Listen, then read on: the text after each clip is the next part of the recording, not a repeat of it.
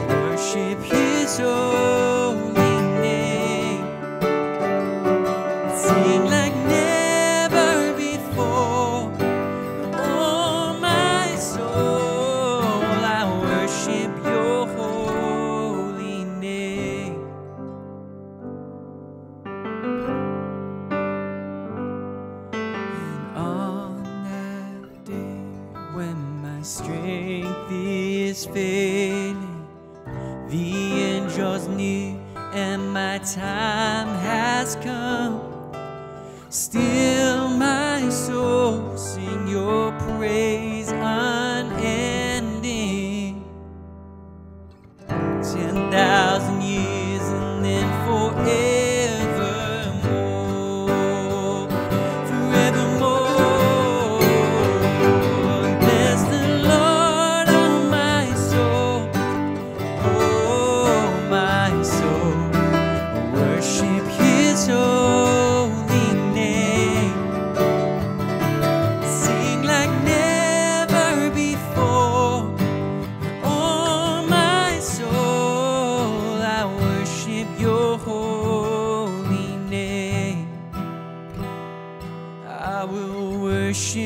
Your holy name.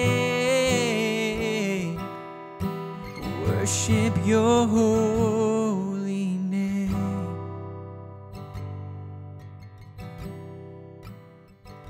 Hello and welcome from all of us on the team of St Margaret's Lothbury and St Mary Woolnoth. We're glad you've joined us at our online service.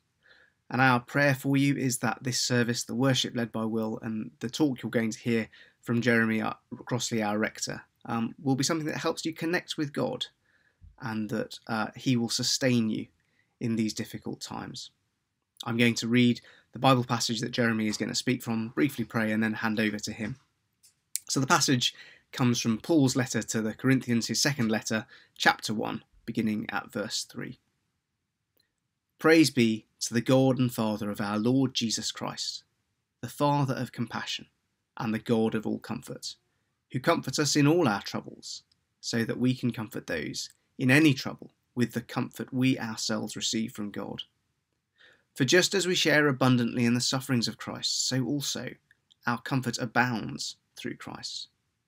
If we are distressed, it is for your comfort and salvation. If we are comforted, it is for your comfort, which produces in you patient endurance of the same sufferings we suffer. and our hope for you is firm, because we know that just as you share in our sufferings, so also you share in our comfort. We do not want you to be uninformed, brothers and sisters, about the troubles we experienced in the province of Asia. We were under great pressure, far beyond our ability to endure, so that we despaired of life itself. Indeed, we felt we had received the sentence of death. But this happened that we might not rely on ourselves, but on God who raises the dead. He has delivered us from such a deadly peril, and he will deliver us again. On him we have set our hope that he will continue to deliver us as you help us by your prayers. Then many will give thanks on our behalf for the gracious favour granted us in answer to the prayers of many. Let's pray. Living God, we pray you to speak to each one of us wherever we're at. Give us the words that we need from you to live better for you today. Amen. London, it's very easy not to know our neighbours. Like anyone who commutes into the city, uh, we leave early in the morning and often don't get back till later in the evening. This has all changed rather bizarrely during lockdown. For every Thursday evening, we've come to our front doors and applauded those impressive frontline workers who we've begun to appreciate more than we'd ever done before and exchanged in a suitably distanced way a few words with people in the houses around. These conversations for me have developed uh, at other times in the week when I talk to my immediate neighbours over the garden walls in the back gardens of the houses where we live. It was on one of these occasions I was reflecting on the jungle that had once been a garden at the back of the rectory. My, I asked my neighbour whether she could tell me which were the weeds and which were the plants that I needed to tend. And after a short hesitation, she said, apart from two bushes at the far end of the garden, everything else that was growing there needed to be pulled up. I looked with horror, and she must have realized that I hadn't any tools to do anything with, uh, apart from a pair of garden gloves, and she lent me then all the tools, explaining what would do what job at whenever I needed it. That experience helped me to understand what the Apostle Paul was talking about when in verse 9 he began to write about learning to rely not on himself, but on the God and Father of our Lord Jesus Christ. We don't know exactly what he'd been through at this time, but we do know it had been a particularly difficult period. He wrote, as we heard in that reading, about having got the stage of despairing of life itself. But he'd found at the very worst times that God had given him the resources that he needed. It had been a significant moment because throughout his whole life he'd been someone who'd relied on himself, his background, his education, his professional life, and his life and his religious life as a Pharisee. In all these, he'd far exceeded the achievements of all his contemporaries. But in these verses, we get a glimpse of a very different Apostle Paul. Things had been difficult. The pressure that he'd been under had had a profound impact on him. And he wanted those Corinthian Christians to learn what he'd learned during those difficult times. He discovered something more, first of all, of the generosity of Jesus Christ. We see Paul writing in verse 3 about the God of all comfort. And this description of God was such a key insight that he used the word 10 times in five verses he learned afresh of how God wanted to comfort him. It's a word that speaks of God encouraging him, uh, giving him the inner strength that he needed when times were difficult, when he'd reached the end of his own resources, have been the same word that Jesus had used in St. John's Gospel when he'd been speaking of the Holy Spirit that was going to come on the apostles. In doing this, Jesus taught us how we were going to access this encouragement, this inner strength. He learned something more of the generosity of the God and Father of our Lord Jesus Christ, but he'd also learned how much he needed the prayers of other people. You help us by your prayers, he told the Corinthian Christians, a group that he hadn't always found easier to get on with, but their prayers had made and will continue to make the difference that he needed.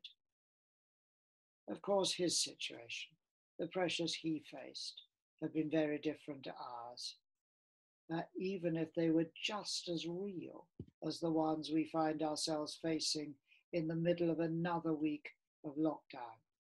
It's clear from the conversations that I've had with many of you that this is not an easy time at all. The pressures people are facing are clearly real. But the good news, which we learn from Paul's experience, is that it's now, at this time, when Jesus particularly wants to encourage us, particularly wants to help us, giving us the resources that we need. It's now that we find ourselves learning that we rely not on ourselves, as Paul says, but on the God who raises the dead. And we also shouldn't hesitate to, to ask others to pray for us, just as we'd be delighted to have the opportunity to pray for them. So let us pray. Father, even in these difficult times, the times when we are perhaps more aware of the pressures of life, it's now that we can learn afresh to rely on you and not on ourselves. Would you, in your grace, reveal yourself to us as the God of all comfort, the one who encourages us, gives us the resources we need. And we ask this in the name of Jesus. Amen.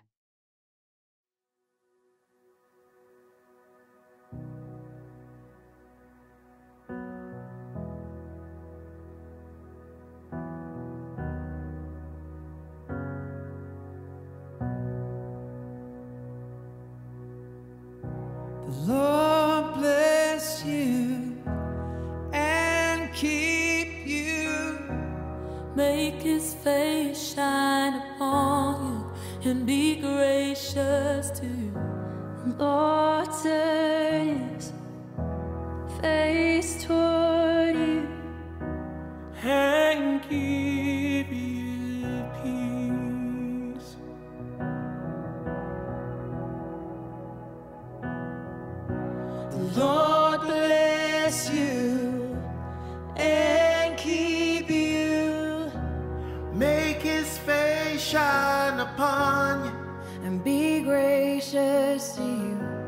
Lord turn his face toward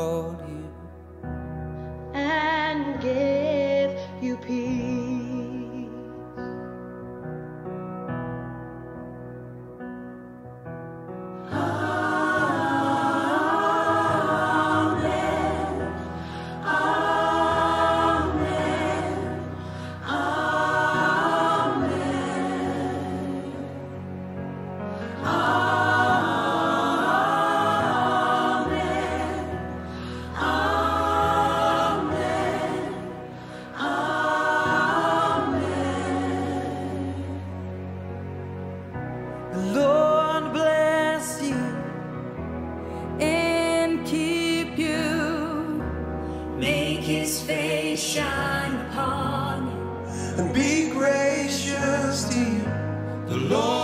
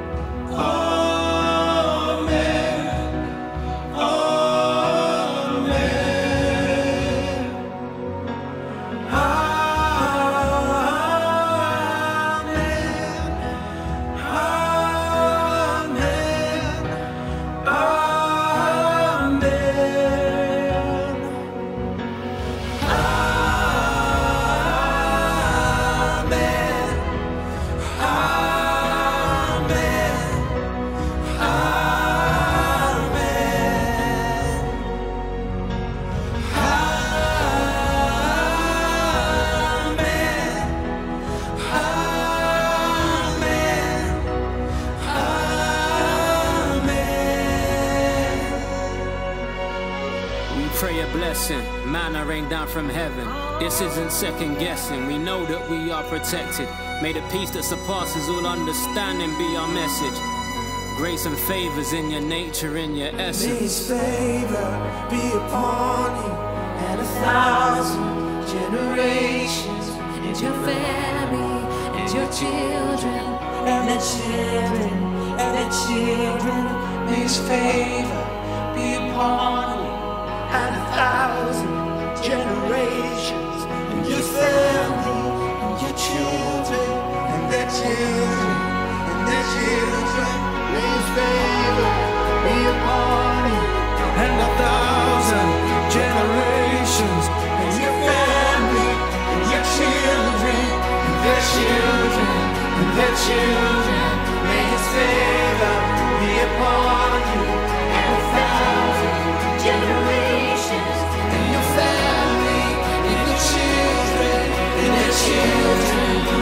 children, these presence go before